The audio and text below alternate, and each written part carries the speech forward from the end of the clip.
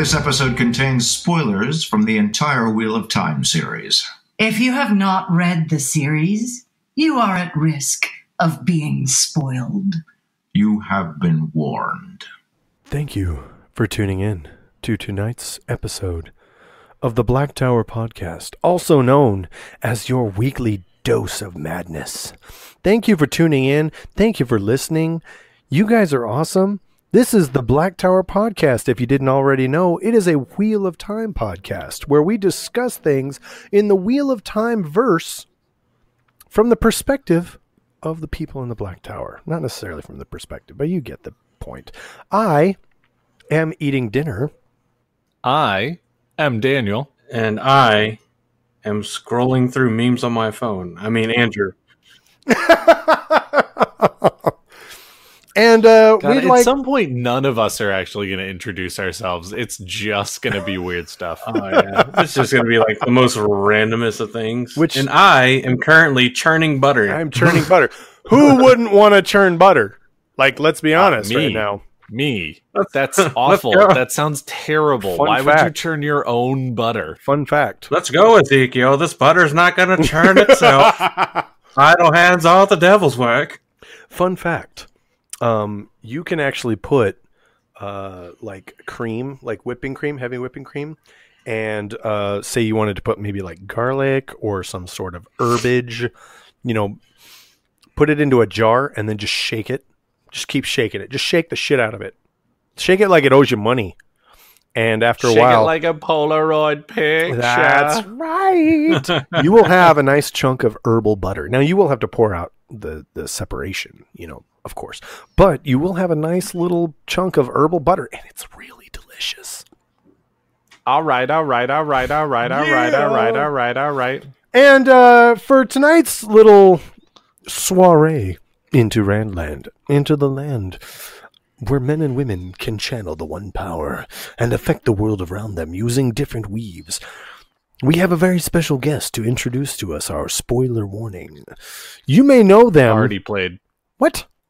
Already Yeah, played. we're, gonna, I'm just going to play it like as an intro. well, that's not good. Now I sound Before like an you're- idiot. Uh, we can cut you sounding like an idiot. No, you won't. Or I can leave it in and just. I was about to say, I know you can. Will you? Probably not. Depends on what you want me to do and how much I remember. Well, let me just put it to you this way: the spoiler warning you probably already heard. Okay, was Kate Reading and Michael Kramer. They're super awesome. They're awesome people. They are the the people who do the uh, the audio books, right? The the audio recordings. Correct. Correct. They are the voices of the audiobooks for the Wheel of Time series. And Michael Kramer was And even. also the Mistborn series. oh, I did not know. they do a that. ton of stuff. Yeah. We do. Um, Yes, they do. Oh. They do a lot of stuff, but our listeners will probably know the Mistborn series as well. I don't know if they'll know the entire works that Kate Reading and Michael Kramer did. Well, you never know. You never know. I'm trying to look up what episode because the spoiler warning is actually from an episode we did with Kate With them. and Michael, and it Mhm. was episode 17, uh, the voices of the Wheel of Time. Correct. So Which is, I mean, that's that's pretty cool, honestly. that- February 4th of 2019. Uh, well, no, February 15th was whenever it should have posted. For anybody that wants to go back and they're looking at dates and stuff to try to listen to that one, I think it's one of our top downloaded episodes, maybe.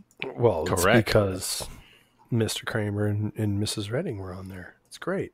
Yep. Mm, Fantastic guests to have, and they're just absolutely wonderful people. For anyone that hasn't had the absolute pleasure of being able to talk to them or speak with them yet. I also love the fact that, you know, again, podcast, perfect place for them to be on. Oh, It's yeah. true. I think, It's- well, well, I think when 'cause we talked to them, they said they, They have had actually majestic voices. Yeah, I think when we talked to them, they said they had actually never that they could remember at least at the time been guest on a podcast. So I think Oh, I believe we were the first, at least at least that they could remember at the time. Let me put it that way. Hell yeah. There's a chance that there they have been on others, but And after On that, the they got a taste for it, and they were like, "Ooh, we like this." hmm And then they started their own. No, I, didn't. No, but uh, tonight's episode, we're going to start a, a series that we think will be really fun. We're going to take a deep dive into some different cultures from the wheel, the wheel of time, um, because there's Indeed. Robert Jordan did such a great job with creating such a diverse uh, realm in which different cultures, different peoples, different nations, and different ideals exist. Um, and they always capitalize this in every single book when he says something along, you know, uh, my favorite is when they start talking about, um, you know, the Seanchan invasion, and there's things along the lines of, uh, the story gets twisted every so often, and uh, you know, it's like the Seanchan arm, the Seanchan army is is making landfall, you know, and I love how how he creates a world in which rumor spreads like waves of an ocean into the land and it changes a little bit a little bit a little bit until it gets to the point where it's like what are you even talking about and where you know to the point where you get people in the south along the coast who think that shadow spawn is a legend it's it's a scary ghost story to tell little kids before they go to bed Yeah, I can't Which- remember if this was a discussion that uh, I saw on Twitter or if it was one in the Discord. I think it was Twitter. I can't remember exactly. But it was talking about the realistic portrayal of the Trolloc Wars and how they would have. It was an absolutely massive, terrible thing, but it's the scope of it is kind of lost on the current age in the book series. It's still referenced. It's Oh, it's, it's fresh enough to still be used as a reference for an absolutely horrible, horrific time but it still has lost a lot of its impact on exactly what the Trolloc Wars were and the amount of carnage that was involved. And I think one of the comments I saw that I liked the most said, you know, it's it's realistic. You know, nowadays we have history books and everything, but if you have an era where you don't have the mass media type things that we have now, it's very easy to forget wars that were three, four, five hundred years ago, much less, you know, a thousand years ago. well okay well, for yeah. I mean, like we still have people. I, I, we don't have people alive that that you know remember a time where you had no idea what was going on. You know, three countries over. yep Uh, but at the same time, I mean, that is definitely a part of human history that there were entire wars that were waged in countries yep. that were completely and utterly unknown oh yeah.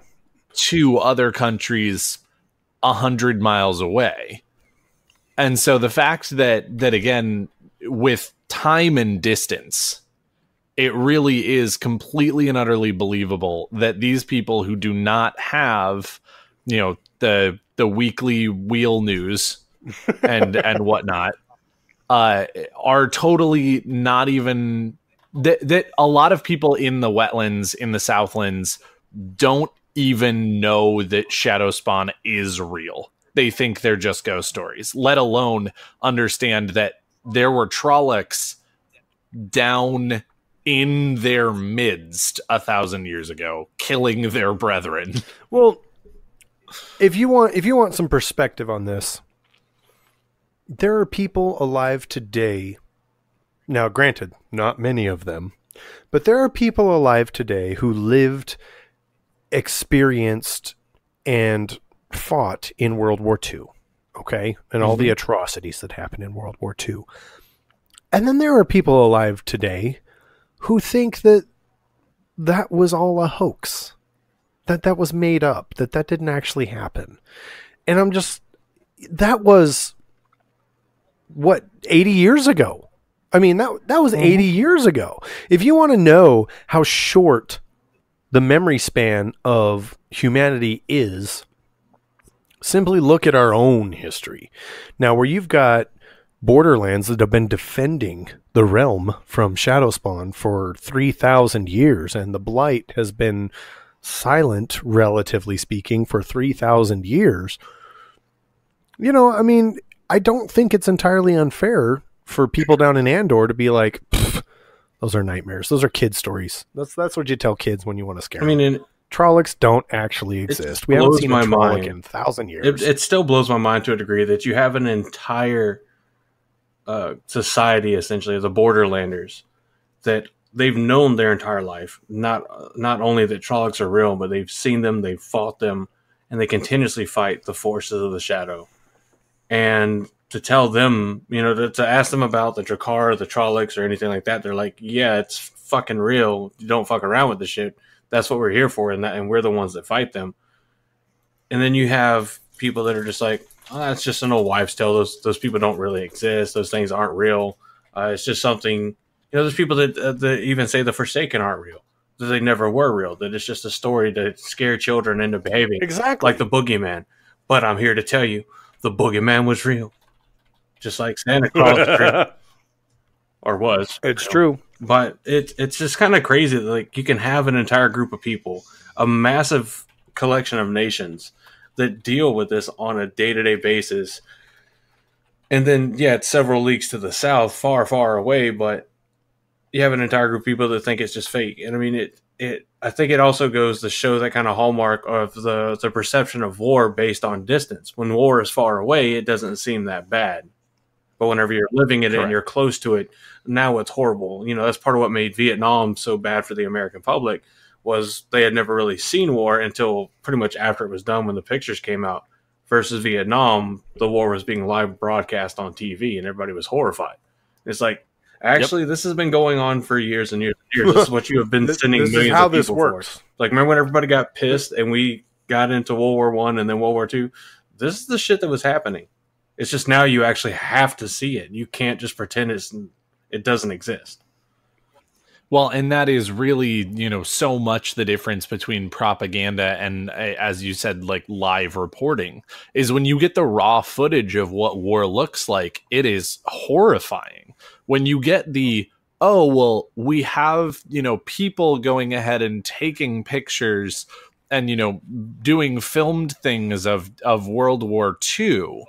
But then by the time that it gets back to the States, it's all been not necessarily so doctored. I mean, like that's not really a fair word, but it's been put through a filter of we actually want to make this look like a righteous war. We which again, in that case, I I think that you can make a very strong argument for it. I'm not saying it wasn't a righteous war, but like you know, when you get uh, the chance to take all of those pictures and and those you know film and and put it through that filter before people get to see it it's a very very different looking experience Right. than oh no we're sending you the raw footage of what these people are going through and how absolutely ridiculous this is And I'm not sure about you guys, but I don't remember seeing many passages in the Wheel of Time about cameras. Yeah, I, I don't. I mean, There were a couple. There were a few actually. I think. Um, I think there were. I think there was a photographer with Valan Luca's Circus. Am I making that up? I'm probably making that up. you're making that up uh, Probably it happens. I do that frequently. But I'm just saying. My main point, my overall Ever point, loyal is that there are not a lot. let of us know if uh, if Josh was making that up or not, because in, in case we're wrong, I, I Because then we'll know if you're really listening. yeah, I don't, I don't think it's, that's true I don't think, I don't remember hearing anything about it. Actually, while y'all are still, while you're making your point, Josh, I'm gonna, I'm gonna try to do some looking up real quick. anyway, my point is, is that you've got thousands of years since the Trolloc Wars. You've got thousands of years since the breaking of the world. You've got borderlanders who they don't ever really define how often they have skirmishes with shadow spawn uh, they definitely talk about it. They definitely say, "Oh yeah, we we we talked shadow spawn," and then in the books they talk about how the blight is advancing, and they're going, "Okay, something's not right. This is not cool. You know, some shit's going down, and we don't know what to do about it." Like so that those kinds of things happen, but they don't have a lot of person to person interaction or even historical data, like hard historical data to tell people that this is a very real threat. A lot of people aren't even sure they believe in the the story of the Dragon Reborn. They're just like, "Oh yeah, okay, whatever." We we you know, we know that's a story, but you know, who knows how accurate that is. And so for people to not believe in Shadow Spawn is totally believable in in my opinion. I, I, I believe that's totally a believable aspect of the story. But what amazes me is how well prepared the Shadow Spawn are. Because there is a vast array of Shadow Spawn ready to invade the southern lands. Well, I mean, let's let's look at who ultimately commands Shadow Spawn. The Dark One's been around age after age after age after age. I mean, if, if you look at the way time Yes. works, and it, I mean, it is confirmed. Time is circular, circular, circular, whatever you want. to Yeah, circular, Cyclic, cyclical. cyclical. Time goes around without end. And the, It's a great big Yeah. wheel. You get you it. get it? The wheel of time goes around a and around. wheel of Yeah. time. But Someone's mind was just Yeah. blown. oh god, I finally, I You're finally welcome. get it. Welcome to the family, friend. These are the some moments, sweet tea and folks. biscuits These are off to the side. Enjoy yourself. but Mother's milk in a Ooh, cup. Whoa, language. Freaking light skirt. But uh Jesus, call it, Brigida.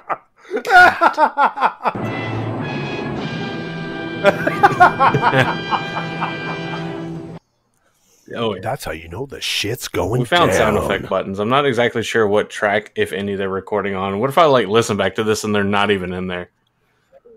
They're That would be actually hilarious.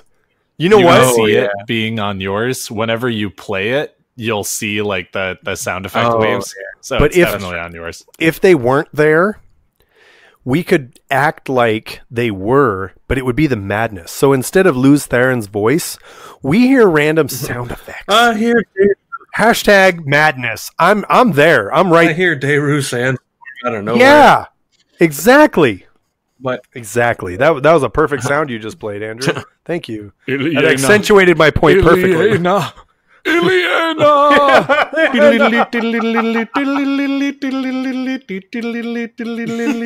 the freaking soundtrack for Dumai's Wells is just Darude Sandstorm. oh God! But um Too soon. is it too soon or is it too early? Heyo. I mean, I guess I- it's not really like contradictory like statement. I like how that is the exact same statement, and yet those actually Yeah. mean different things. Yeah. Because the soon has the connotation that it's like after the fact, but early means before the fact. My head I mean, hurts. anyway, Anyway. but anyway, so the Dark One has been around age after age after age after age, and has fought war after war after war, and as of this point, however many ages have passed in the entire history of, of the Wheel of Timeverse, has not had a complete victory. I'm gonna say. Though he True. has also not really had a Oh, yeah. complete defeat. I mean, the thing is, is I like that. I 'Cause like how a- that's worded. A moment we've already done the spoiler warning at the end of the series, where Rand is like, there was a moment where I believe I could have destroyed the Dark One, but it would have destroyed everything. Because you Yeah. can't you can't have an ultimate is- good without an ultimate evil. You have to have a counterbalance, and that's that's what the ultimate. uh That's kind of one of the things that, especially Moiraine, tries to convey heavily about the wheel is that the pattern strives for balance. One way or another, things balance out. And that's what makes Yep. Ta'veren so special, is because they seem to be able to bend those rules of balance. Which is one of my favorite sort of fan theories. Now, this has not been confirmed with anyone. This is simply a fan theory that I have, and I love it. But when you talk about the Dragon Reborn leading up to Shayol Ghul and facing off against the Dark One, learning how this works, learning what's happening, there is a moment in which the Dark One tells Rand, you know, basically that, you know, what he represents or what the Dark One represents versus what Rand represents. And there's there's there's wiggle room in the story for Rand taking out the Dark One, killing the Dark One, and saying, "Yep, okay, we're done." we've got this. It's all it's all out, and uh, and then leaving nothing to counteract the Dark One's touch. So then the wheel has to generate another dragon to counteract the Dark One. And the the reason I think about this is because I feel like you know when they talk about the great heroes of the Horn, they don't talk about the uh, the dragon being summoned when the horn is sounded. So the dragon is a figure, is something that is constantly being re-added to the pattern, I guess you could say. Did any of that make sense, or am I just that taken with I the mean- madness? Um, I am going to throw out there that you're taken with the madness because you said that there's a moment where Rand can kill the Dark One and take him out. And then the wheel would put out another dragon to counteract the Dark One. But if the Dark One's gone, then the dragon can't. Well, but Rand would then become the dra- the Dark One because he would become the destroyer rather than the creator representative. Ah, I see now what you're saying. Yeah, So does that? I mean, now, granted, that's a bit of a headcanon, and it's a bit weird. It's a bit out there. Yeah. I I mean I'm with you and it is definitely an interesting theory and and of course we do have a little bit of a And it's just for fun. and It's I put those fun. in quotes. Yeah, yeah, yeah. That that again since we only ever see it from, you know, Rand and his allies in this one particular age's perspective, uh, and we don't have, you know, the even the the moment necessarily where Neo is in the room with the architect and seeing his face on all of the TV screens. Like Right, we exactly. don't actually really know what has happened in the past or what will happen in the future. We have a good idea because Right. again, time is cyclical. But it is a little bit, you know, okay, but we don't really know. And so it really is a, a situation where the the question then becomes about free will. Because does Rand actually have the ability to eviscerate or to to eliminate the dark one? Or is he always destined to not to? I mean, we Well, exactly. there's not it- actually a we do get a there. fair glimpse into the future. Um, of well, a future that did not include the dragons peace, albeit um, Yes. through Aviendha. So, as far as after the dragons peace was signed, um, there's no telling how accurate or different it was. I mean, there's still the viewing from Min that talks about Aviendha's children and that she'll have four, but they'll be there's something off, but they'll be healthy, but there's something off.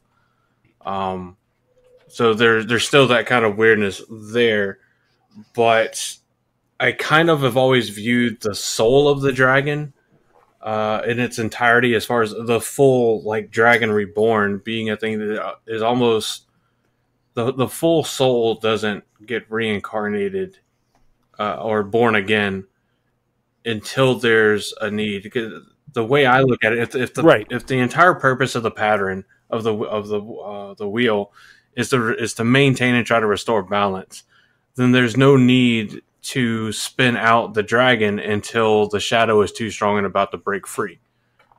Because he because he kind of serves as that kind of pseudo messiah figure Mm-hmm. and even at the end of uh, at a memory of light it's almost like there tries to be this allusion to well all the previous dragons have resealed the bore incorrectly i've done it right which is i'm sure what every single dragon has ever said and done right? um, though it, it would be interesting if we could somehow get insight onto previous iterations of the dragon. You know were they able to do what rand was able to do? Were they able to you know pull a captain ginyu and change bodies with Moridin? Or, or what or forsaken or change bodies and survive or you know did they die? Did i mean we know for a fact that Lucer and uh, Telamon survived his battle with the dark one only to be for him and the hundred companions to be driven insane immediately and thus begin the breaking of the world Well, and that actually also brings up another question is what exactly did Lews Therin try Yeah. to do? Because they, they do leave it kind of vague in the story as far as, you know, they know that he was sort of fighting the Dark One in some Right. ways and trying to do something that was very mm-hmm. arrogant as Right, far as- exactly. as what the Dark One was. So does that mean that the Dark One is actually unkillable? And so when Rand looks at it and says, I could take you out, is he just wrong? And that that's exactly the same thoughts as Lews Therin had, and then trying to kill the Dark One actually caused the backlash. I don't think Or is it a situation where Lews Therin was trying to do something else and you know it was a different age and a different time and the dark one was different and the dragon was different and blah blah blah and so we are actually seeing an age where everything's different Yeah. and that rand can actually see new things I personally, I don't think that the Dark One is unkillable as himself, as the Dark One is. What the essence of the Yeah, dark. what, One what I'm probably. thinking, if I what I think happened is that when it was Luz and Telamon, in his arrogance, he decided with the hundred companions they were going to destroy the Dark One, and I, I would I would think that realizing that this would destroy the fabric of time and destroy the wheel itself, which is ultimately what the Dark One wants anyway, that perhaps the Creator stepped in and and Ooh, dampened maybe. down what he tried to do. You know, a kind of like, yeah, I know I just sided against the people that are fighting my enemy, but it's for the greater good of the continuation of of life.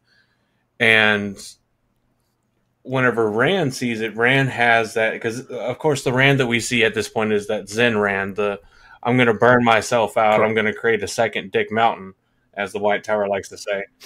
Um, but it has the absolutely fortunate benefit, the one in a million chance of somewhat, at least for the most part, healing his own madness. Um, once again, Yeah. Rand doing something that he has no idea how to do that Ishamael knew how to do, at least to some extent. Um, but Rand, of course, never did. But so Rand, Well, and, Rand and has during. during. uh, go ahead. I was just going to say, Rand even says when he has this revelation that this time will be different because this time I was raised better. So you know there is a very there's a whole lot of story that that we just don't get about Lews Therin, and I, I I feel like we're getting what we're seeing. I mean, you know, and granted, this is kind of you know. Uh, a roundabout way of, of getting into tonight's subject, but I feel like what we're seeing is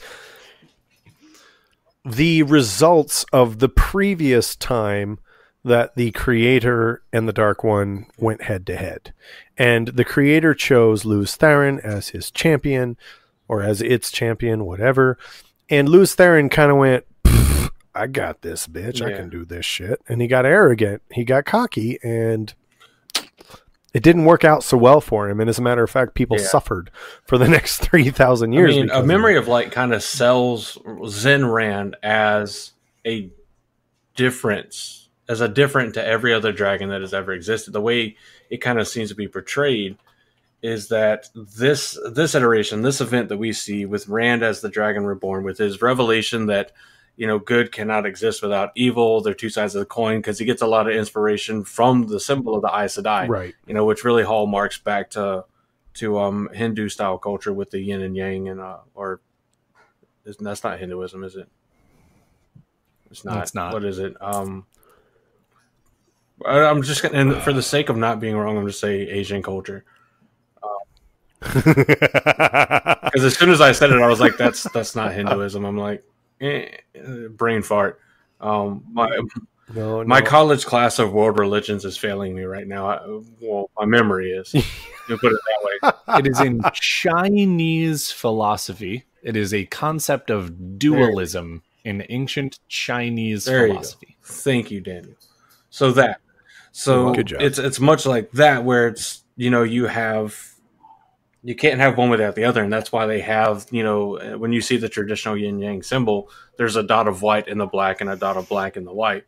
Um, to show that you know you can't have one without the other. They're two sides of the same coin, and it's the Zenran that sees this. And I kind of get the impression that from the way things are written, that for the entirety of, of human history in the Wheel of Time uh, universe, that the the focus has been on destroying the Shadow, destroying the Dark One, and it ultimately never works because it would destroy the fabric of time. And if if you take that with the pattern uh, insistence on finding and restoring and maintaining balance uh, on the large scale, then it wouldn't make sense that any mm-hmm. of any effort by anybody like Lews Therin and Telamon to destroy the Dark One completely would have dire consequences to rebound as far as balance and keep that from happening uh, as a kind of self preservation of the pattern, which by extension means that the pattern is somehow sentient and uh, may, then you have the argument that the creator and the dark one together make or, the collective conscience of the pattern. Or it's the creator who is at the wheel spinning the pattern itself. I mean, it could be. And as we see in Wanted, the pattern uh-huh. kind of spins itself, and the creator is the one who's just providing. That, that doesn't work because Morgan Morgan Freeman's character just like bastardized the entire thing.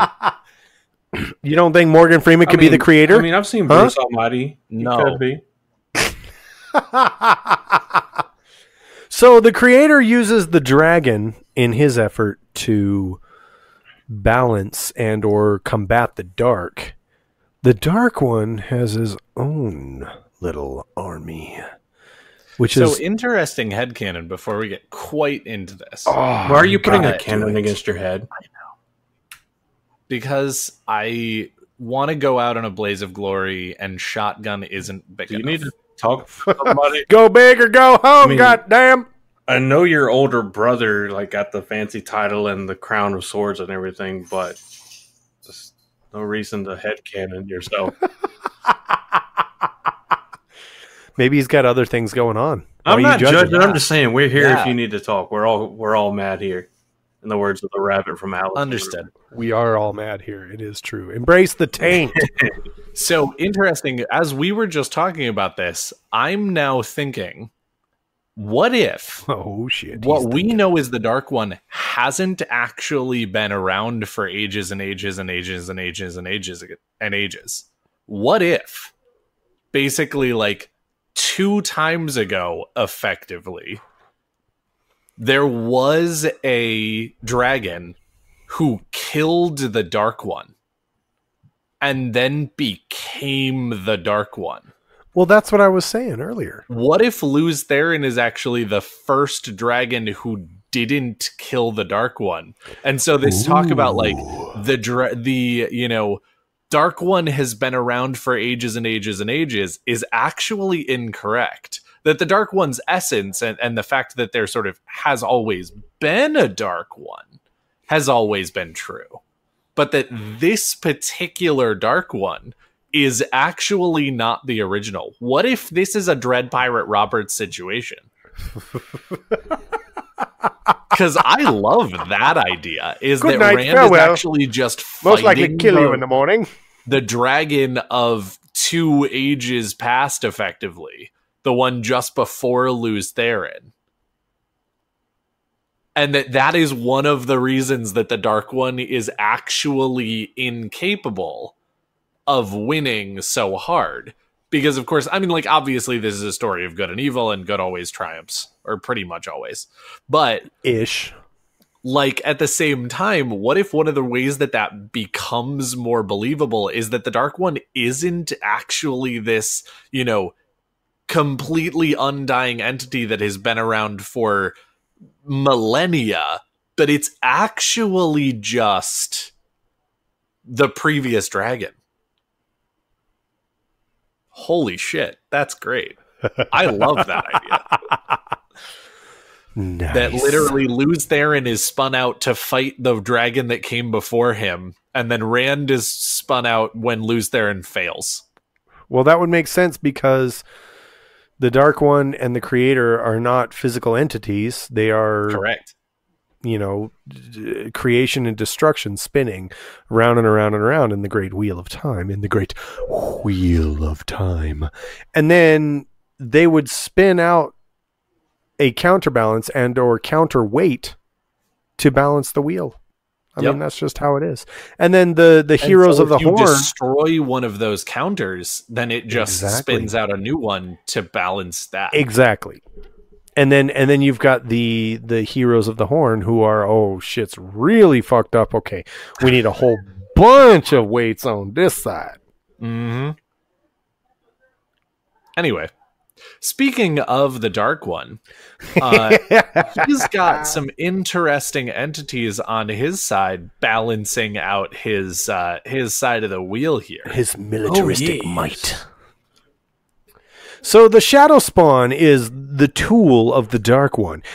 You may have heard of them. I mean, the the, the most common Shadow Spawn in the book is Trollocs. Everybody knows a Trollocs. And anytime you read a book, all the major books have a sort of animalistic, brutal, uh, evil military, uh, unhuman, inhuman military. Lord of the Rings had orcs and trolls, and eventually they had the Uruk-hai.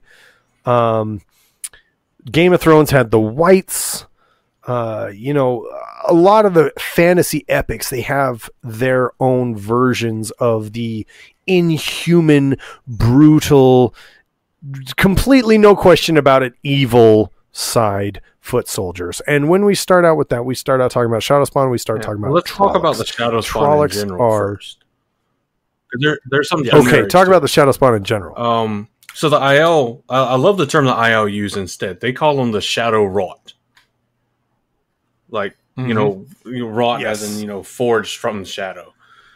Um, there's different varieties. We're gonna we've got about ten name varieties that we're gonna go through uh, over the remainder of this podcast, or at least try to. yeah, I'll bet you didn't know there was that much Shadow Um, and that's just the you? ten named ones that we see in the series. There's always allusions to there being more and everything, but um, Well, they even talk about how the world is Right. so much bigger. And when you even talk about like at the last battle, Demandred comes in with a whole nation that hasn't even been mentioned throughout the entire. You're like, who the fuck are these So I know guys? for a long time, reading through the series, I was, I was like, why doesn't one of the Forsaken open a massive gateway and just drop a bunch of Shadow Spawn through? Well, that's because nearly all of them will instantly die if they attempt to pass through a gateway. Yep. That's true. Now, do they ever discuss why Shadow Spawn can't transport through the Uh, gateway, no. or is I it just think it's a a, thing? way with. They never get into the specifics of it, but if I had to guess, it Yeah. has something to do with how they were how they were created by Aginor. Because most of them are artificially created life, uh, attributed to uh, created in the Age of Legends, and it's uh, virtually all of them were created by the Forsaken Aginor, um, which leads an incredible credence to when we see him the first time in Eye of the World. Um, he was formerly known as Yeah. Ishar Morad Chuain, and he was one of the 13 Forsaken trapped at Shayol Ghul due to the, the dragon sealing being uh, Kinslayer. And that's that's his achievement. His his biggest achievement was the creation of the Shadow Spawn. Um, and it almost seems like it was. We know that the Forsaken were incredibly wary of their construct of their constructs, uh, incredibly fearful of anything that could potentially ever pose a threat. So perhaps it was one of those. Let's give them a weakness to a gateway. If they try to go through, they're going to die. So that if we need to get away from them, if they turn on us, we can just gateway away, and then anyone that try to follow us just fucking die. Um, could be as simple as that. I I I think that's a good point. They definitely seem to build a lot of uh, sabotages into their own uh, I guess forces because they do fear like wh- I mean the Forsaken fear more than anything they fear betrayal or Mhm. you know the dark one turning on them and saying oh no because I mean Asmodean was like shitting himself when he lost his connection Yeah. to the dark one. So it was during the War Yep. of Power that Aginor created the, the all the Shadow Spawn that we know of, or at least most of them. Um, and some, uh, notably the Trollocs, were used creating human and animal stock. Uh, and the byproducts of that often became other Shadow Spawn as well. Uh, the genetic the genetic engineering is carried out with the one power and gave many of the Shadow Spawn special attributes uh, and to infuse them with the with Shadow Taint, so they were inherently evil. So they were manufactured with the taint already in them, so they would be inherently evil. Uh, one of the startling Right. statistics I find is it's estimated that there were 50 million people that died in order to fuel the exp- just the experiments that Aginor undertook to create the Trollocs alone. So we have Right. no idea how many more died to create the more powerful shadow spawns, such as Myrddraal and the the uh, the Draghkar and the others that we'll go through. Right. And they actually discuss briefly Aginor's failed experiments, how he had numerous other experiments where he tried to create other types of shadow spawn that Mhm. failed. And it, they did it Mhm. basically with captured humans. They would capture people, probably most likely more after the ways were closed, probably most of the borderlanders um, that were captured and taken. But um, so yeah, so whenever you look at the structure of strength, as far at well, not I don't want to say strengths, but um, your typical if you wanted to look at it, just your your foot soldier, your throw into the meat grinder because we're the shadow and we don't care about uh, our people, which we really can't call them people. I mean, these are literally creatures created for war and inherently evil. Um, Trollocs are make up uh, a fair bulk of the battle power and battle force of the Shadows armies. Right. Correct. That's that's Yeah. their Yeah, they're, the, infantry. they're the most abundant. I mean, th- those are those are the grunts. I mean, if if you want to start, if you want to use modern day terms, that's your heavy infantry. That's your that's your marines, if you will. Those are the guys. Those are those are the ones that are going to be Yeah. storming the beaches. Um, So Mhm. Trollocs are characterized by their their humanoid, generally in shape, with attributes of animals. Uh, most notably, it's you see ones that have uh, like wolf's fur or bear's fur, or they have like an eagle's beak or a bird's beak or uh, goat's horns. Some attributes of, of different animals. Um, the the wiki says the body of a man and the head and feet of animals. Uh, there's more than that. Uh, it's not just the head and feet that can be of animals. I mean, head and feet happens. There's also hands that are more claws. There's entire bodies that are more animal than man. Um, they're generally quite large, around eight feet tall, uh, unable to swim, and will not even wade through waist deep water unless pushed by a Myrddraal. They will. They Myrddraal can Wi- force them to try to Right. uh, cross some water. Um, especially those they Yeah. are connected with because that is a an interesting thing with the Trollocs is that uh, it doesn't really seem like there are hardly any other shadow spawn that sort of connect with Mhm. something uh, but the Trollocs are basically like a Murdral can come along and be connected with a group of of Trollocs and it can order them better and do a, a number of different things better to make those Trollocs and to Right. force those Trollocs into situations that they would not necessarily get into themselves. However, that does have a drawback that you don't necessarily need to kill an entire band of Trollocs. You just need to kill the Myrddraal they are connected to, and then they all die. But uh, we'll get into that more. But if you've listened to the previous episode we did exclusively on Myrddraal, you know that's not as e- that's far easier said than done. But but Oh, that well, their course. unruly nature. it might actually be easier in some cases to just kill the entire band Oh, Well, I mean, if you've got an illuminator on your side that's found her bell founder and made cannons, and fuck yeah, blow up all the Trollocs. But Hell but anyway, yeah! so the Trollocs were because of their bloodlust. That's an allusion to you, Aludra. you I go, see girl. Hashtag Team did there. Aludra. yeah. Hey, Stop it. we got the But um, so the their uh their bloodlust So and their their inability to be used as uh, alone, at least as a formable kind of uh, disciplined military, they were originally labeled as a failed experiment um, because the Trollocs themselves are incredibly strong. They're very large. They make them powerful troops. However, they just follow bloodlust and they can't follow orders on their own. Uh, and that's where you get the, the linking with Right. the Myrddraal that is able to essentially scare them into following orders and doing what the Myrddraal says. It's you know the Myrddraal comes in as such itself as alpha pack leader, and they're all like, okay, yeah, whatever you say. Um, but it's only the male Trollocs that Right. fight, while the female do little else but serve as breeding machines. Um, so that does confirm there are female Trollocs, but they don't they don't fight Right. generally. They're they're just there to have ki- uh, to produce more and more Trollocs. Which yes, which is another like actually quite a terrifying thing about Trollocs is yes, even though the first ones were the Frankenstein patchwork quilt from the imagination of Aginor, Aginor actually had the foresight to say, Tell you what, let's make these things breedable. Let's make these things so that they can breed themselves. So that long after I'm gone, the Trollocs can continue on making more Trollocs. I don't know why Aginor has that accent. Why don't you just try to make Aginor sound like maybe Trump? it's the That- that's, that's all that just happened. I didn't try. Well, I wasn't going for Trump, but if we're gonna talk about making Trollocs, I mean, But I mean, it's essentially it's essentially a super soldier program.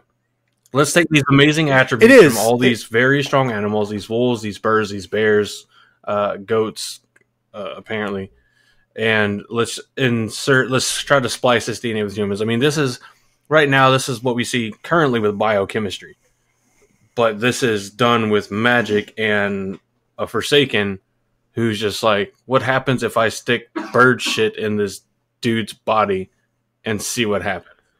right I mean, it, it's very rudimentary kind of bio uh, biochemistry and genetic engineering.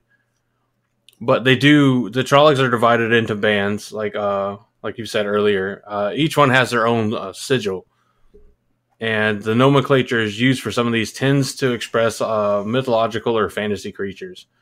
Uh, and the wiki lists what one, two, three, four, five, six, seven, eight, nine, ten, eleven, twelve different uh, bands.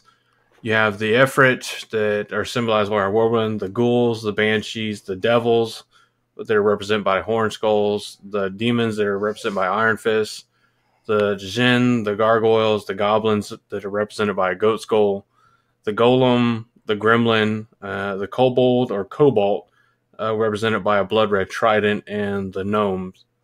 Uh, Right, and it's it's important to note that they never really get too deep in the series about the different bands and their different like I guess their Mhm. capabilities. But I would imagine that, you know, where you've got these different bands based on different physical attributes, they would have to have different specialties. Um, and I would imagine if Mr. Jordan were alive today, he would he'd be able to say, "Oh yeah, you know the the Banshee were more speedy infantry, whereas the the the Kobolds were more I, I I don't know, but I I would like to think that you know when Aginor was using the genetic material of the different animals and fusing them into the different beings that he was trying to you know figure this stuff out that that would retain some of their capabilities and that these different bands would have not only their own sigil but their own capabilities and their own specialties as well.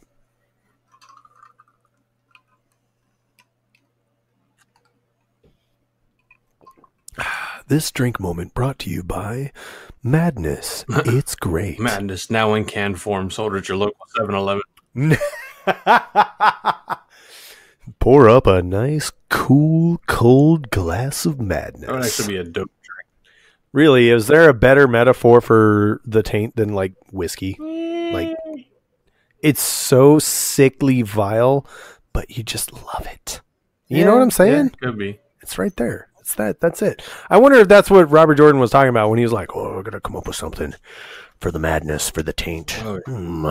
He probably had like a really good scotch, and he was like, "Oh, oh, I want more."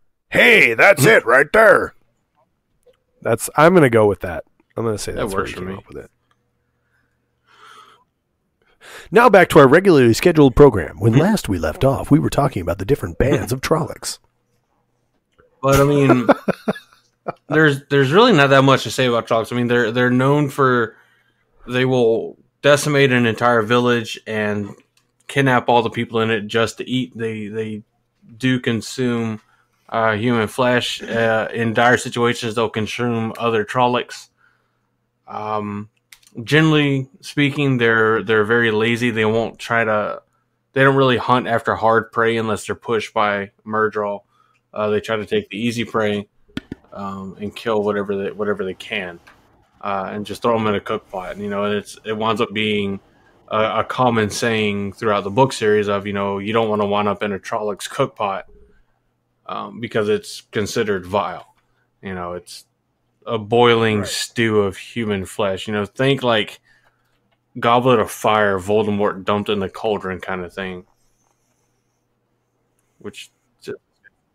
Yeah, no, it's it's it's it's definitely it's vile. Like the Trollocs are whew, they're definitely like the gritty, vile, dark, nasty piece yeah. of this. I mean, they're, they're, just primal. I'm sure.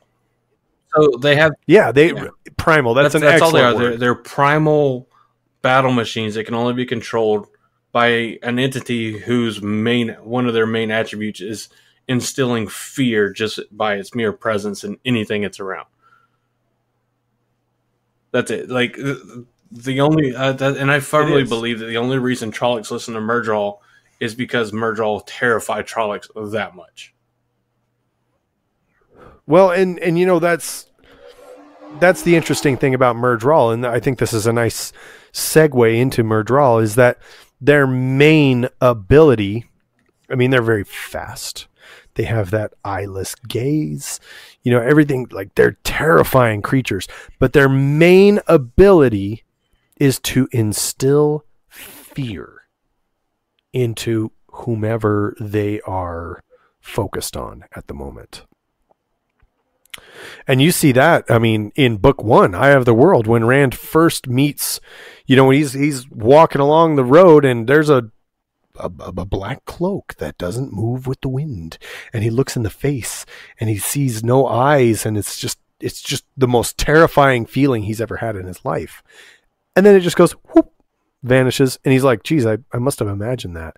It's such a terrifying experience that they can't even, you know, wrap their heads around what just happened, and and that's their main ability, uh, other than, of course, you know, like lightning quick reflexes, uh, yeah. strength, uh, you know, stuff Daniel, like that. Daniel, you want to you want to take us but again, Myrddraal?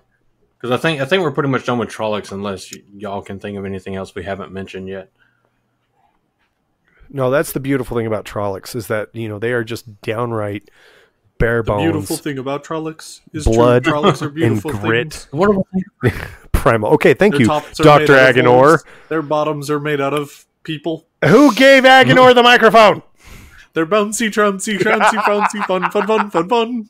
But the most wonderful thing about Trollocs is there's a hundred million the of them. I made all the ones. Easy there, Okay, Daniel, I'm gonna need you to get Aginor and put him back in the bore and seal him back up. Sorry, I just did you guys say something? Because I lost myself for a moment. He's Wait a minute. Who are you? Sorry, it was the madness for a moment.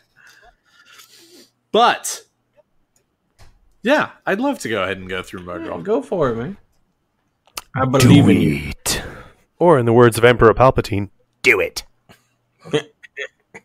mm-hmm. He's actually not emperor yet at that point. I love democracy. so this is how democracy dies. Thunderous applause. Anyway, so Myrddraal. Myrddraal. Uh, so occasionally, when Aginor was uh, working with the experiments that would become the Trollocs, uh, or even continuing now that they know how to make them, uh, a Trolloc offspring is a genetic throwback in the direction of the original human stock, and the taint of evil is even stronger in them. Uh, now, Myrddraal have a number of different names uh, that are they're sort of colloquial to different regions and and different stories and whatnot that include fades, lurks, the eyeless, half men, uh, and the wolf nickname for them, which is. You guys are hurting me. I'm sorry. I I know I know this, okay. and I will kick myself as soon as you say it. Yeah, I was about to say as soon as you're gonna say it, I'm gonna go shit. I Uh, you've that." already you've already said Fades, Lurks, Eyeless, and Halfman, right? Correct. Oh, what the hell do Yes. they call them? Why can I not remember this? I did a I did a whole episode on the Myrddraal.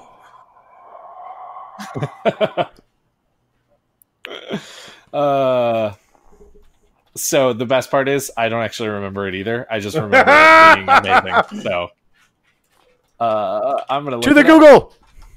Indeed. Uh, let's see. Neverborn. Go back. The never No, I know, call them Knights. God. so good.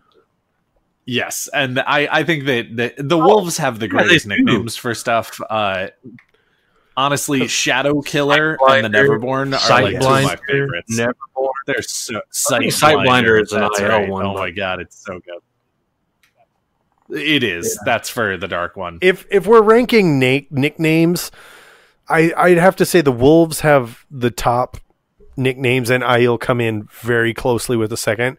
And as much as it distasteful as I find them, the Seanchan are probably number three because they've got a we have lot to of remember about really the wolf fun names, is it's the interpret. Most of the ones we find out are how Perrin interprets the the messages from the wolves. Yes, So it's not like it's not like an actual. that's name correct. which makes Perrin that Oh, much yeah, more Perrin's coming up with all kinds of names. right? but anyway, uh, so the Myrddraal have a number of of additional powers that are, you know, i- in addition to what what Trollocs would usually be able to do, as well as certainly more than what you know a, a human would be able to do. Uh, and most of their powers actually stem pretty much straight from the Dark One, uh, which is basically the shadow in them um, because as stated, they have the taint of evil far stronger than any standard Trolloc. Uh, Right. so they have uh, the ability to travel instantly to any place where shadows meet. Uh, they also are incredibly strong. They are incredibly fast. Uh, they have this incredibly piercing gaze which is funny because one of the reasons that they are called the eyeless is they have no eyes. And so really you're just looking into these just dead spots on a face. which is just, just seeing terrifying. just absolutely getting this, you know, sense of of dread and terror that wells up in you uh that is just, you know, all of the fear that you have ever felt in your entire life. Um It's it's true. It's apparently Damn. Aginor expended over 100 Myrddraal attempting to learn more about their ability to travel between shadows and was incapable of understanding it. Ugh, that's that's terrifying. It is. You know, Aginor is a scary fuck.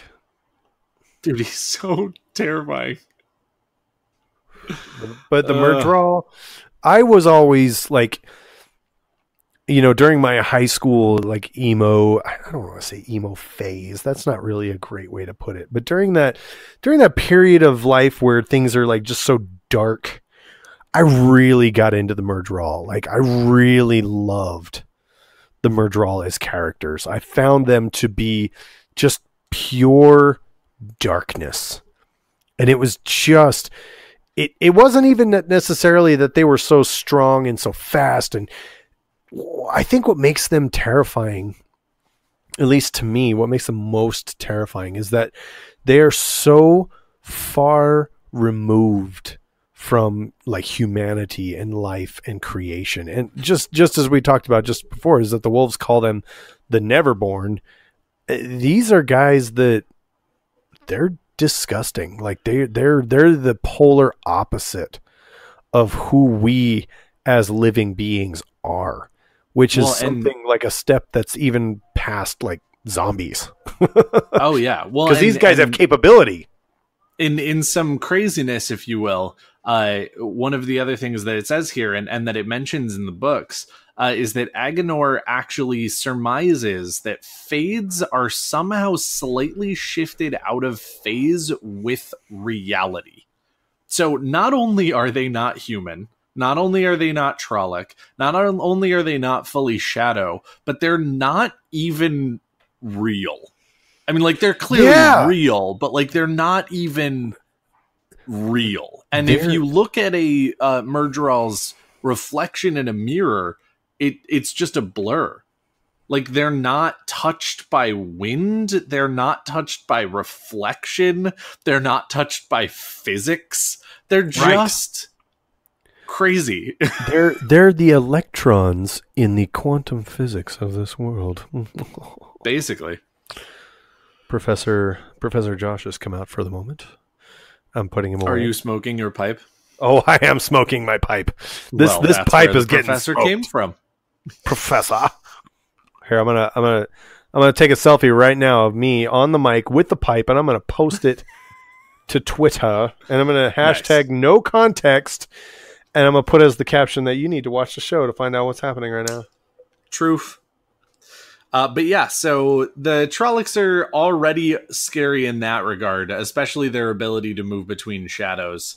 Um, but add to that the fact that while they are are not really a, a huge match for Aes Sedai, because other than the one exception that we have of Shaidar Haran, uh, none of the Myrddraal can actually touch or affect the one power. Um, and Right. therefore, Aes Sedai can pretty much take care of them as long as they can see them coming and and can react fast enough. Which we all know that Aes Sedai do have sort of a capability of seeing them coming. If you Well, will. that's and that's why they have that's why they have their warders as well because yes, it's always nice to have a pair of eyes in the back of your head, and it's always nice when that pair of eyes in the back of your head can also wield a sword quite efficient. Indeed.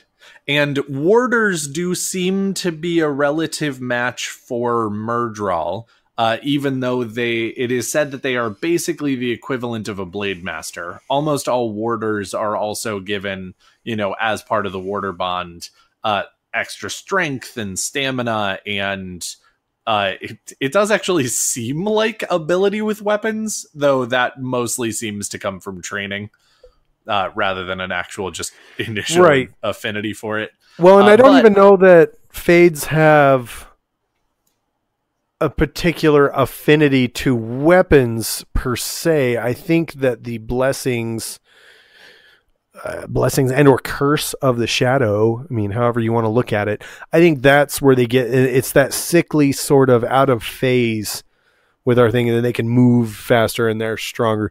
That doesn't necessarily give them a sharp technique. It just gives them speed and strength, which is beneficial. True. That's wonderful. No, But it as is. we know with Lan, like speed and strength are great, but it's also really nice to have that pristine The technique. technique. Yeah. No, and and there are a number of times in the series where uh there are definitely people who with a sword are able to best Myrddraal. So while they are definitely faster and stronger than most humans, uh well then all pretty much all humans, um, they definitely are bestable. Um, though it is definitely very, very dangerous to fight a fade, uh, partially because their weapons are special. And Yes. it is not a situation where, you know, you just have to worry about a fatal blow from a Myrddraal.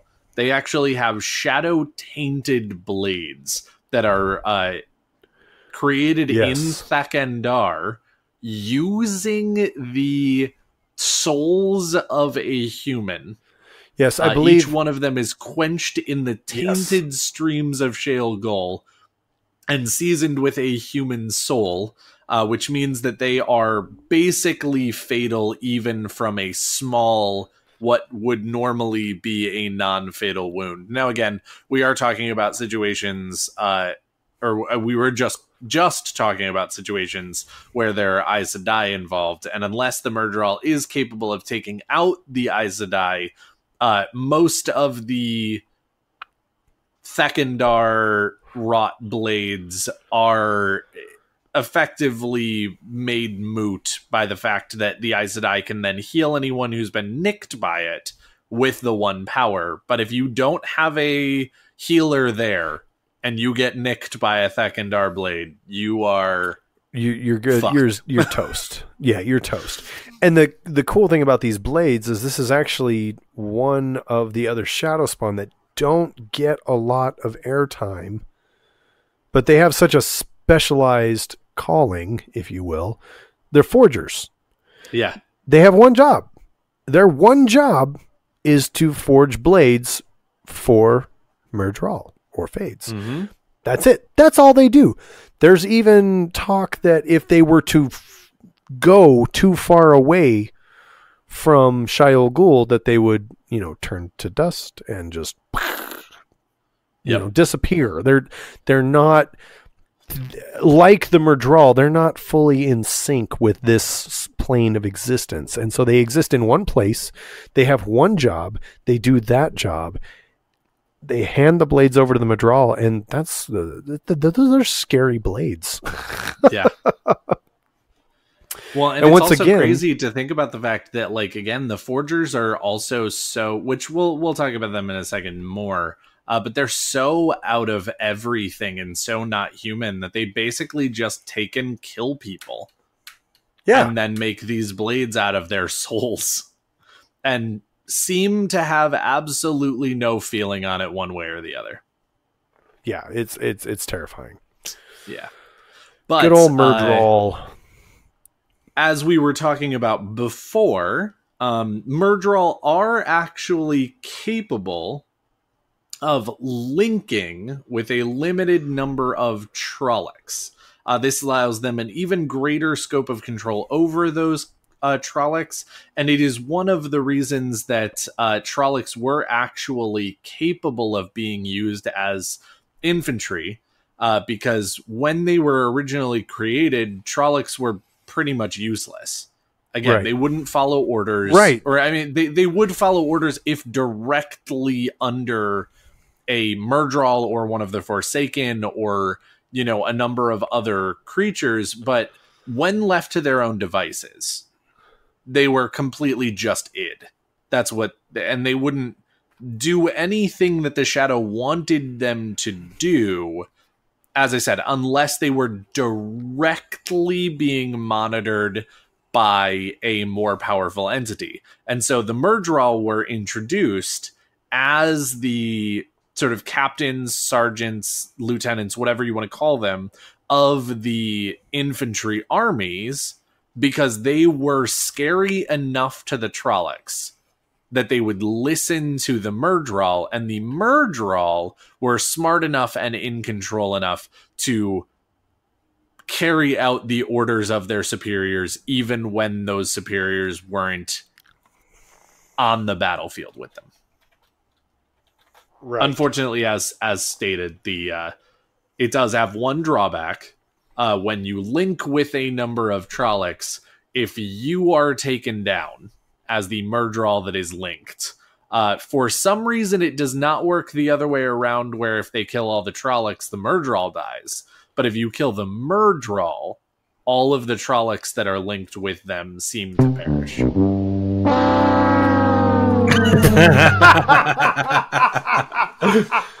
it seemed like the opportune time. That's a pretty fatal Indeed. because you can kill Oh. one being, albeit hard, kill one being, and there's a whole bunch of Trollocs that disappear. Well, and as and as we discussed earlier, sometimes it's actually easier just to kill all the Trollocs. Yeah. Yep. Well, and and we all know why now. Now that we've Oh, talked yeah. about the Myrddraal, uh, they're hard to kill. They're very hard to kill. Oh, and the the other like the the in in my opinion, the absolutely most sort of scary part of a Myrddraal, which it's eyeless gaze and its ability to just like throw fear into anyone is already like probably the second most terrifying and it's pretty bad by itself. But then you add into this that even when you actually get to the point where you best a Myrddraal, you have fought it, you have won, you take off its head. Right. It refuses Hashtag to die. Which is the way that they describe it. It's not that it's not that it's not capable of dying. It's not that there's like some immortality thing. It just refuses to die. Thrashing about and just making movements until at some point it accepts the fact To be fair, that if you were fighting and you got suddenly battle is- circumcised, you'd thrash around too. Get it? Cut off the head. Yeah. Cut off the Cut head. off the head. All right. I don't know why I have. I see what you did effects. there.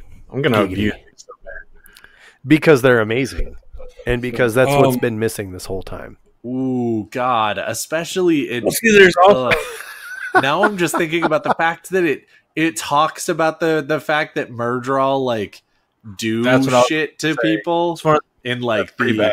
the rapey fashion. So we know they have Yeah. dicks. And the thing is, they cannot. we know for a fact they cannot reproduce with humans. So they do it Yeah. Right. Right. So no, they they, just so, which makes that fun. scene in the Eye of the World where Rand is being shown this vision of his mother tortured by Myrddraal all the worse. Yeah. Oh well, yeah. and it's- God, it's let's just tough. take a second to recognize what a dick mean, Ishamael is. Oh, he's the worst. You're betrayer of all hope indeed. That's a nice name. I mean, to be fair, the first time we ever see him, he heals a guy just so he can realize that he murdered his entire family. Yeah, he's a fucking huge dick. right? But that's that's all issue. right. Yep. He's like, I want to mock you. I can't mock you because you're crazy. So tell you what, I'm going to heal you so that you can understand what you've done, and then I can make fun of you for it.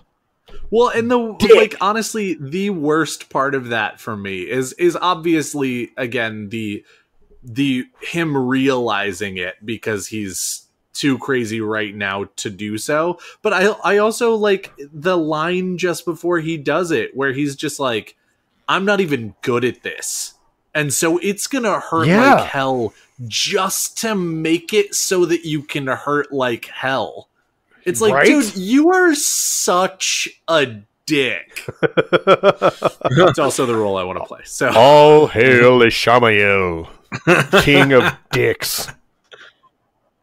The Fucker. most asshole of all the Most asshole. Goddamn asshole. Love it. That's perfect.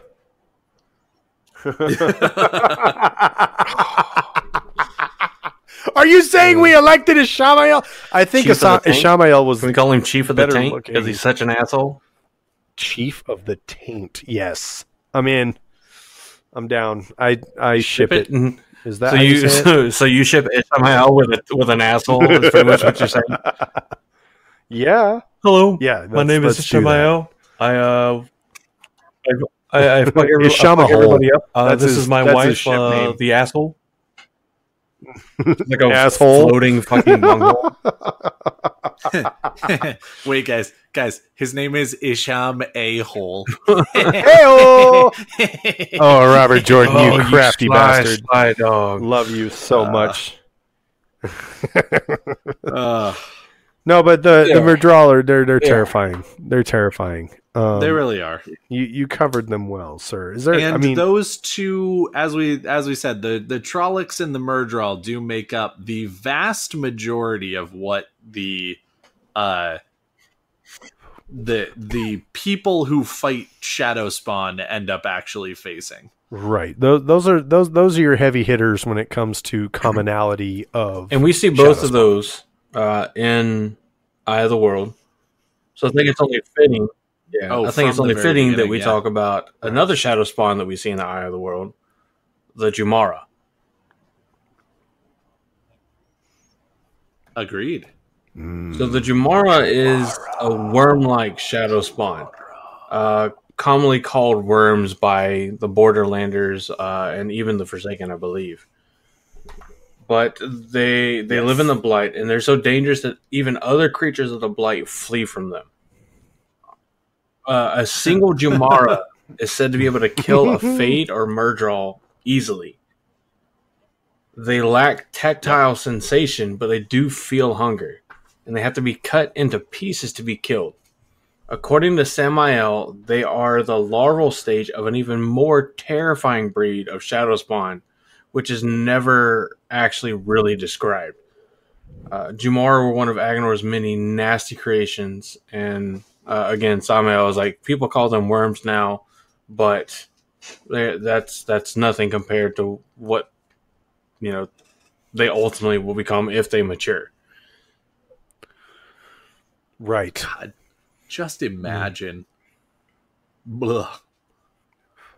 and yet it okay and and a lot of people I, I know a lot of people don't like it when you draw comparisons to other stories but i think it's awesome i really do i think it's awesome when people borrow um, ideas and and make them their own and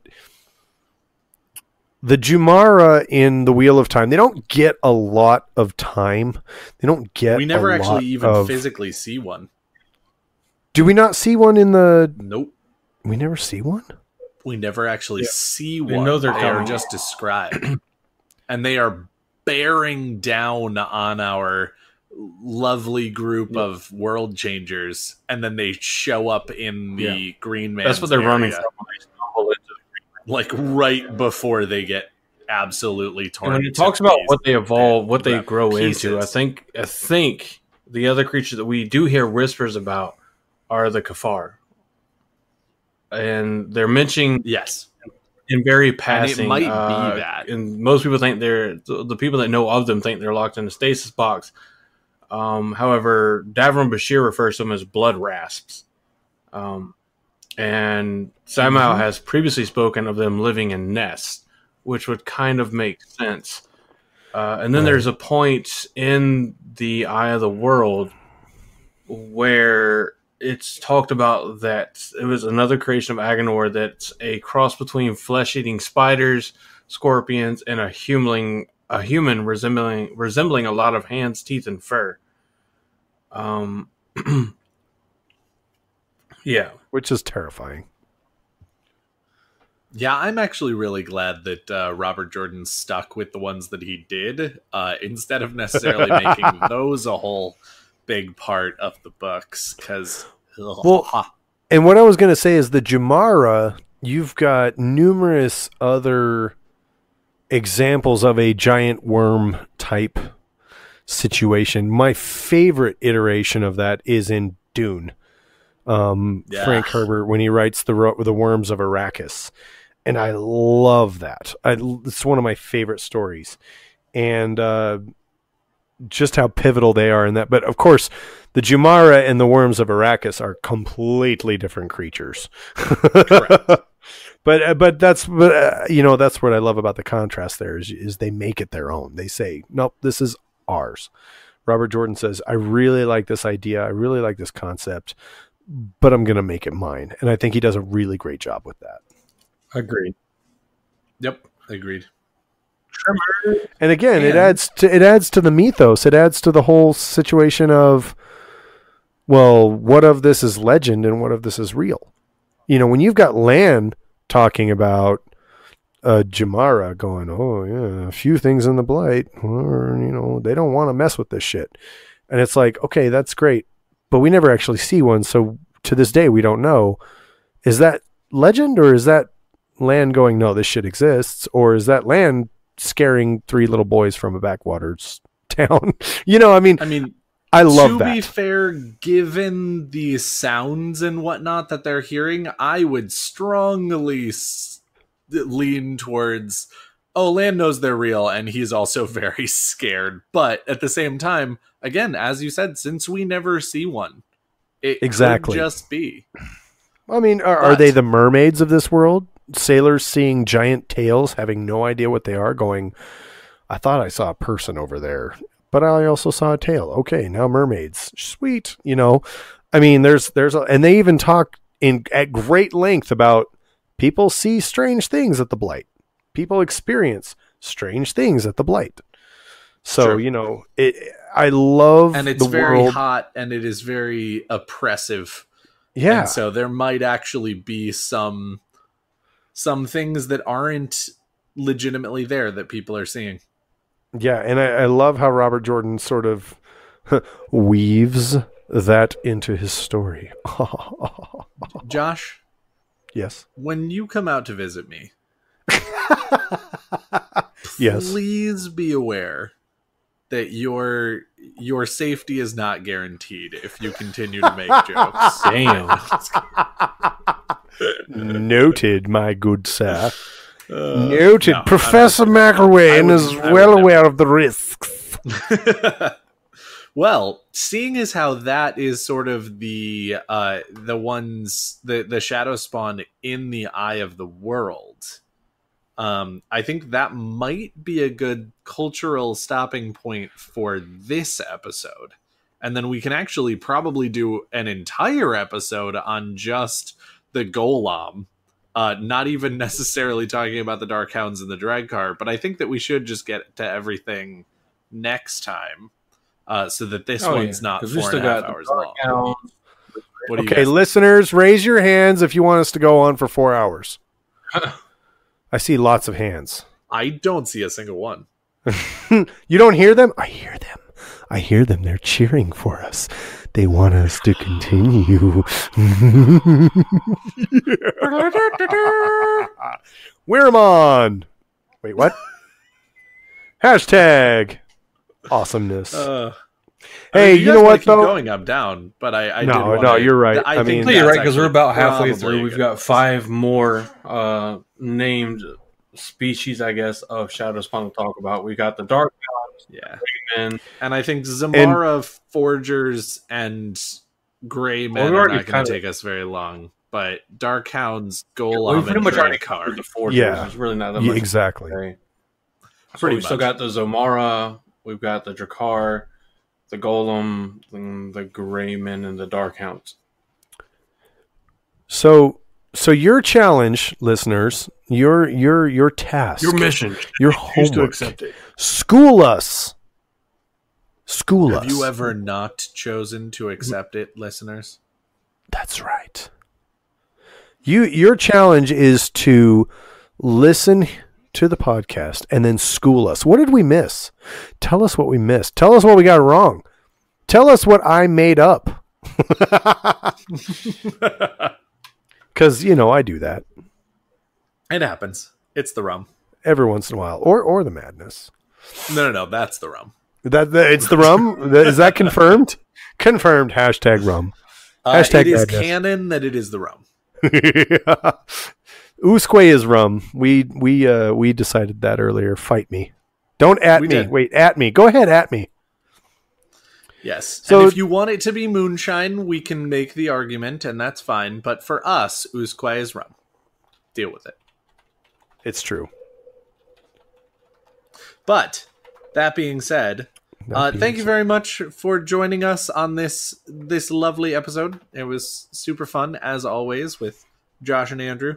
Um, as stated, if we got anything wrong or you wanted to hear more about any particular subject, uh, we will actually be doing another one on Shadow Spawn, presumably next week. Um, so you have some you have some days here uh, between now and we usually record on Tuesday or third or Tuesday or Wednesday. So you have a few days to tell us what you'd like to hear more about, and we're uh, most of the time we're pretty more than happy to to go into that stuff. Um, so next week we'll be talking about uh, the other shadow spawn that make up the the forces of the darkness. Uh, and if there's anything that you guys need from us, uh, let us know, and we'll we'll see if we can include it in the episode. All right. Also, All right. uh, to do that, as I forgot, technically, I know most of our listeners already know this, but uh, if you'd like to go ahead and let us know those things, uh, you can hop onto our Podbean. It has all of our uh, links to the Twitter, the Discord, the uh, email, all of that different stuff. uh, please send us a message through any of those channels. Uh, pop into Twitter of Time um, and talk to us there at at Tower Podcast. We're always interested in hearing from you guys about all of the things. Um, and if you liked tonight's episode, if you are uh, interested in going ahead and uh, helping us out to go ahead and continue to make content as well as you know possible merchandising in the future we've already got some great quotes and we're not stopping there uh, then you can always join our patreon as well uh, if not that's also totally acceptable we are happy that you're just listening uh, but if you want more we have more and we'd be happy to have you on board for that so Indeed. come on over and, And- join us In even more exciting news than the potential merchandise, which is hard to be more excited than, because some of it, some of it just sounds hilarious. Some of it True. sounds dope. Some of it you're gonna want to get for Valentine's Day. Um, so we're gonna say. So we're gonna say you Patreons would have already heard the quote and probably already heard the idea. So that's another good reason to hop on the Patreon if you're ready, getting ready for you know next year February shopping, Valentine's Day. There's certain things you need to embrace, and we're gonna have a product that uh definitely uh embraces that idea. Oh yeah, It will encourage But- you to embrace it. That is no true. pun intended. Um, five days after after uh, you guys are listening to this episode, after it releases at least on the 13th of this month, five days after puts us within the one month time frame from our one year anniversary for having the Black Tower podcast. Uh, my mind that they're already this we're already this close to having been around for a year. So uh, there's already been some ideas in the Discord about what people would like to see for a one year anniversary kind of celebration episode. Um, there's been ideas about nostalgia. There's been the idea of a rap battle thrown out, uh, a bunch of fun stuff. So, uh, and that will actually be uh, our on paper 50th episode as well. So, uh, it's, it's, that's pretty dope. I'm I'm super super excited. But if you have ideas, again, send them to us just like you would any others. Um, definitely encourage you guys to join the Discord. There's an entire channel dedicated to um, viewer and fan suggestions and feedback. Uh, so it's not just, hey, you know, this could be a fun topic or something you should do for your one year anniversary. If you've been having issues with the podcast, if someone, if one person's audio seems to always be higher than the others or whatever the case is, um, let us know because we're not going to know how to fix things or what needs to be fixed unless you guys tell us. Indeed It's true. We we grow through your critique. Or sometimes we ignore your critique. I'm not gonna say we ever ignore make it. fun of it later. might read it, might forget about it, but that's the madness. But you'd have to you'd have to listen to find out. And then you could call us out on it. See how this no, works? we haven't done it in a while. It's great. the random movie quote. What's that? We have Smart. not done a random Dude. movie quote. well Well, that is just peachy. Maybe we should uh, do one off the cuff right now. I, Hey, I don't have I don't have one off the cuff. Uh, I'm the worst. I could So think sorry. of I could think of a I, got one. I got one. You ready? And if and if you two know what it is, just just say yes. Okay? Here we go. I am the greatest swordsman that ever lived. No? Is that too I mean, yes, sorry. I You I got know it? it. You know it? Okay. Because I was going to say, if that's too obscure, I get it because I do that a lot. I make obscure references and people don't get them. But I'm going to throw that out there. I'm going to say that's the movie quote of the week. If you know what it is, put it in the Discord. I'm going to do it again once more. I am the greatest swordsman that ever lived. And with that, I bid you adieu. thank you so much for tuning in tonight. Thank you so much for listening. Thank you so much for I just realized I was enjoying your your your daily activities with realized I us. muted. Indeed. I just realized I was muted again. You've been on mute. Because I'm sitting there, I'm like, and for those of you that don't remember Yes. about the movie quote, and then like Josh just started turning, I was like, what the fuck? And I'm like, oh, I'm muted. But, uh, what the hell, jerk? I'm talking. So yeah, Yeah. for those of you who don't remember about The the, movie first quote, Yeah, the movie quote. The Hey, thing Andrew, would you tell them about the movie quote? anything. The first person that tweets to us the quote, uh, where the quote is from, uh, got to have at least the movie, preferably movie and actor or actress, whoever said it, uh, character name. We'll be sh- we'll shout you out on on Twitter without fail. Um, and if you've tweeted out and everything, and you want to make sure we see it, feel free to send us a message on Twitter. Hey, I tw- uh, I tweeted at you guys, um, but we'll see it and we'll we'll give you a shout out for it. yep. There you go. All right, one last time. The quote, the movie quote, the random movie quote is I am the greatest swordsman that ever lived. And with that, I bid you a good night, and I want to thank you for tuning in. Thank you for following us on Podbean and on YouTube. And thank you for being you. I have been rode hard and hung up wet. I have been Daniel. And I can confirm all of the above. And I am Andrew. Good night. Thank you so much.